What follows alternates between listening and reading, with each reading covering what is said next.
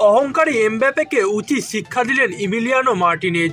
কাতারে বিশ্বযুদ্ধ জিতে আর্জেন্টিনায় ফিরেছে লা আলবি সেলেস্তারা বুয়েনোস আইরেসের রাস্তায় ছাদ খোলা বাসে চেপে আর্জেন্টিনার ট্রফি নিয়ে চলছে ভিক্টরি প্যারেড। দীর্ঘ ছত্রিশ বছর পর বিশ্বকাপ জয়ের সেই সেলিব্রেশনের মাঝেই কিলিয়ান এমব্যাপেকে কটাক্ষ করেছেন ইমিলিয়ানো মার্টিনেজ। টুইটারে বিভিন্ন ছবি ও ভিডিওতে দেখা যায় ইমিলিয়ানো মার্টিনেজ বিশ্বকাপ জয়ের পর হাতে বিশ্বকাপ নিয়ে সেলিব্রেশন করছেন না। বাসের মধ্যে তিনি একটি পুতুলকে হাতে নিয়ে আছেন এবং পুতুলের মুখে এমব্যাপের মুখোশ পরিয়েছেন তিনি। দেখতে গেলে এমব্যাপে ও মার্টিনেজের দৈরত্ব শুরু হয়েছিল ফাইনালের আগে থেকেই। ফাইনালে নামার আগে এমব্যাপে বলেছিলেন, ইউরোপে আমরা অ্যাডভান্টেজ পাই। এখানে সবসময় উচ্চ পর্যায়ের ম্যাচ খেলা হয়। যেমন উদাহরণ হিসেবে বলতে পারি নেশান লিগ। যখন আমরা বিশ্বকাপ খেলতে নামি তখন আমরা তৈরি হয়ে থাকি।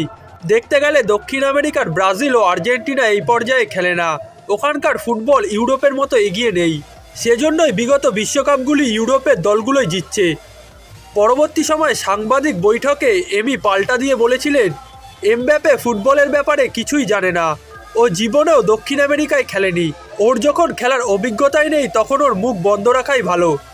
আর্জেন্টিনাকে বিশ্ব চ্যাম্পিয়ন করার পথে মেসির চেয়ে কোনো অংশে কম ভূমিকা নেই মার্টিনেজের।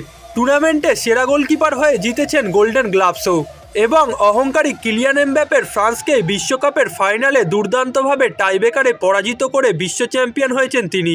যার মাধ্যমেই তিনি দেখিয়ে দিয়েছেন ইউরোপিয়ান দলগুলোর থেকে দক্ষিণ আমেরিকার ব্রাজিল ও আর্জেন্টিনা যথেষ্ট এগিয়ে।